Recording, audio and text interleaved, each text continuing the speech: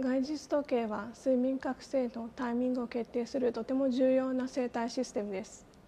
時計遺伝子の変異は人において外実リズム睡眠障害の原因となることがこれまでに知られています。